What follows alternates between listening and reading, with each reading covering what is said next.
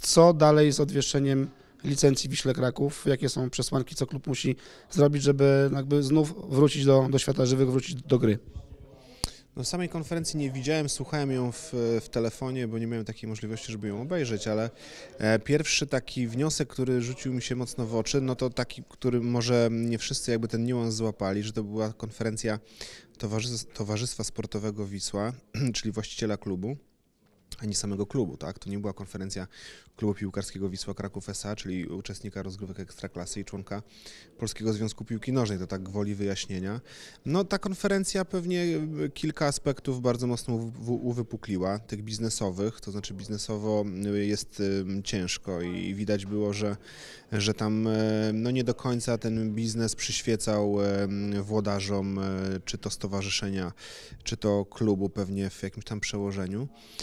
To nas trochę martwi, e, ale oczywiście jesteśmy dobrej myśli i teraz ten moment, czy, czy ten czas najbliższy, te kilka najbliższych dni dajemy sobie na, na uściślenie współpracy z klubem i na wyjaśnienie kwestii właścicielskich, to przede wszystkim, e, oraz na to, żeby poznać, jak ta struktura klubowa będzie wyglądała no, pod rządami nowych, starych właściwie właścicieli. Zanim zapytam, co klub musi, co spółka akcyjna musi zrobić, żeby te licencje były odwieszone, spytam jeszcze o jedną rzecz, bo mm, są dwa oświadczenia. Jedno ze strony Towarzystwa Sportowego, że Wisła należy do nich, ale też pan Mac Hartling ustami e, swojego pełnomocnika, tego nazwijmy Adama Pietrowskiego, też jakby wystosował oświadczenie, z którego wynika, że oni też się poczuwają do tego, że są właścicielami Wisły. Czy ten spór o własność może w jakikolwiek sposób skomplikować oddanie, odwieszenie licencji Wiśle Kraków? Skomplikować może nie, ale na pewno będziemy bardzo mocno się tej kwestii przyglądać. Na pewno tutaj prawnicy będą mieli dużo do powiedzenia, znowu prawnicy. Po, po, poślimy się pewnie jakimiś analizami, ekspertyzami prawnymi. E, poczekamy na stanowisko Wisły Kraków S.A., bo o ile wiem, e, taka ekspertyza przez nich została również zamówiona e, i to chyba nawet w dwóch kancelariach. I to na pewno da nam jakiś taki, powiedziałbym, obraz sytuacji, no bo to jest pewnie bardzo ważna kwestia, tak? E, kto jest właścicielem klubu. Oczywiście my będziemy bazować na, tych, e, na tym, co na, co na tę chwilę będzie mówił nam klub. E, klub Wisła Kraków. O ile wiem, będzie pewnie utrzymywał klub, że właścicielem jest Towarzystwo Sportowe Wisła Kraków, stuprocentowym właścicielem. I dalsza nasza dyskusja będzie prowadzona z klubem, ale, ale obok, tej, obok tej dyskusji na pewno te wyjaśnienia kwestii właścicielskich będą prowadzone. Pan jest w stanie sobie taki scenariusz wyobrazić, że do siedziby Polskiego Związku Piłki Nożnej pukają ci, nazwijmy to umownie, nowi właściciele Wisły, e, teraz ten szwedzki, ta szwedzka grupa i usiłuje w jakiś sposób, nie wiem, spotkać się albo przedstawić swoje, swoje stanowisko, czy w ogóle tutaj widzi Pan możliwość e, do spotkania z tymi potencjalnymi, jeszcze raz podkreślam to słowo, inwestorami? Znaczy, e, kluczem do tego, do tego pytania, do odpowiedzi na to pytanie jest kwestia, kto jest klubem piłkarskim i kto jest członkiem Polskiego Związku Piłki Nożnej i co ten klub piłkarski mówi. Tak? Wisła Kraków, członek e, Małopolskiego Związku Piłki Nożnej, Polskiego Związku Piłki Nożnej, o ile ten członek będzie mówił, że właścicielem jest Towarzystwo Sportowe, to my bazujemy na tej informacji. Oczywiście, tak jak powiedziałem, sprawdzamy i analizujemy, ale raczej nie przewidujemy spotkań z potencjalnymi e, właścicielami czy tymi rzekomymi właścicielami, którzy nabyli, jak twierdzą, twierdzą e, klub. Nawet, nawet jak te akcje pokażą, bo podobno są w ich posiadaniu. Nie wiadomo gdzie, ale są. Znaczy, my do tej pory e, raczej nie spotykaliśmy się z właścicielami klubów, tak? E, I nawet jak sobie prześledzimy historię działań komisji licencyjnych, to naszym partnerem, bo nad tym partnerem mamy jakąś tam jurysdykcję, jest właśnie klub piłkarski. Nie pamiętam, żebym kiedykolwiek jacykolwiek właściciele klubu przyjeżdżali i, roz, i, spotykali się z organami licencyjnymi, więc wydaje mi się, że taka sytuacja raczej miejsca e, mieć nie będzie. Dobrze, to co musi zrobić klub, bodajże do 8 stycznia ma czas, żeby ta licencja była odwieszona, żebyśmy tak w prosty sposób wszystkim kibicom, nie tylko Wisła, ale kibicom piłki nożnej w Polsce wyjaśnili, co czeka teraz w najbliższych dniach klub Wisła Kraków. E, ze strony Wisły chcemy poznać tak naprawdę dwie kluczowe kwestie. Po pierwsze chcemy zobaczyć umowę sprzedaży akcji i żeby móc ją w jakiś sposób zanalizować tak, przy, pomocy, przy pomocy prawników. E, poza tym chcemy poznać strukturę zarządczą klubu, czyli kto jest prezesem, jak wygląda skład zarządu, jak wygląda skład rady nadzorczej i chcemy zobaczyć tą strukturę właścicielską, którą, którą jak twierdzi Wisła Kraków w 100% tą, ten, ten poziom właścicielski to jest towarzystwo sportowe. Chcemy to oficjalnie usłyszeć, przeczytać na e, papierze e, czy na, na dokumencie wysłanym przez osoby upoważnione do podpisywania i do składania oświadczeń woli ze strony Wisły. Pewnie będziemy się jeszcze kilkukrotnie z Wisłą e, Kraków spotykać.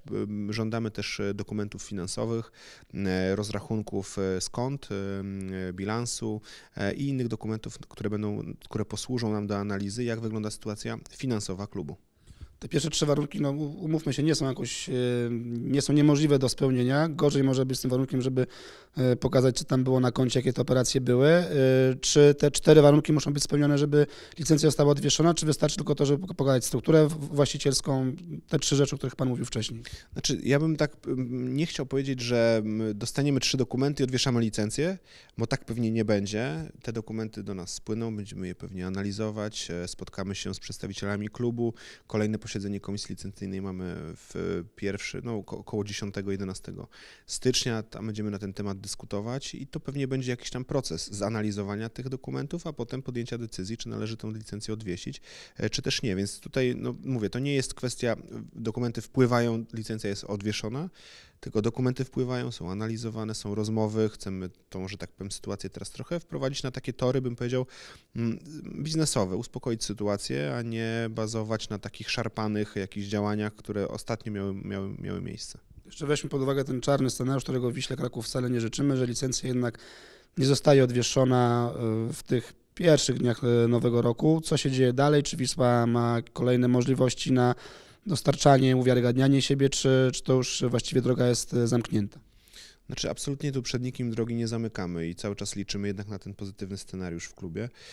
negatywny scenariusz, ten najczarniejszy, to taki, że do pierwszego meczu w ekstraklasie tej licencji się nie uda odwiesić i Wisła Kraków nie przystępuje do, do meczów w ekstraklasie. Trzy takie mecze to, to, i trzy walkowery to mm, usunięcie z rozgrywek, przesunięcie na ostatnie miejsce w tabeli i relegacja do, do drugiej ligi. O dwie klasy rozgrywkowe w dół, tak. E, dobrze. Załóżmy, że ta licencja będzie odwieszona, to wcale nie jest koniec kłopotów Wisły Kraków, bo kolejnym krokiem jest to, żeby uzyskać licencję na nowy sezon i tutaj trzeba też będzie no, pokazać przynajmniej chyba jak te długi będą spłacone, albo po prostu jak będą spłacone kiedy będą spłacone.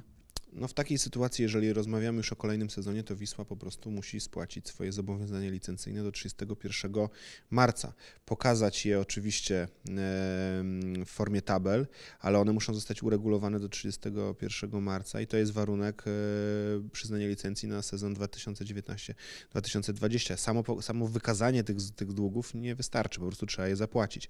E, czyli wszystkie zobowiązania, które powstały do 31 grudnia, jest na to jeszcze czas do 31 marca, żeby spłacić spłacić. Jeśli te zobowiązania nie będą spłacone, to wtedy kasus y, Polonii Warszawa, która też z Ekstraklasą się pożegnała, nie będzie już żadnej prolongaty terminu, żeby o kolejne miesiące to przesuwać, nawet jeśli Wisła, zakładam, przedstawi jakiś plan naprawczy na, e, na co, co do swojej sytuacji. W takiej sytuacji no, podręcznik jest raczej zero-jedynkowy, to znaczy daje, daje wtedy licencjodawcy możliwość odmowy przyznania licencji.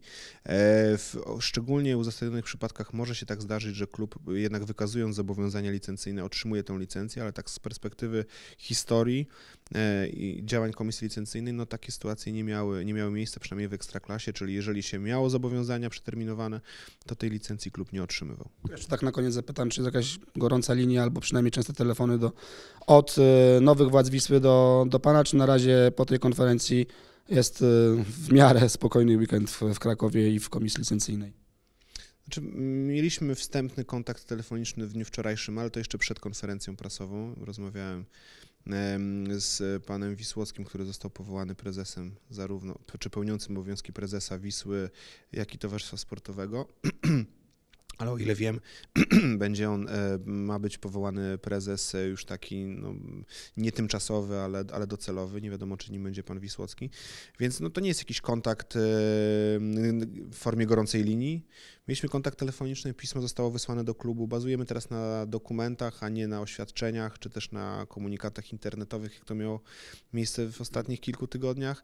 No i liczymy, że, że ta komunikacja nasza na dokumentach pozwoli nam przejąć, że jednak e, wiarygodny partner jest po drugiej stronie, z którym możemy rozmawiać, którym, któremu dobro klubu faktycznie leży na sercu i który poważnie myśli o tym, żeby ta licencja jednak została odwieszona.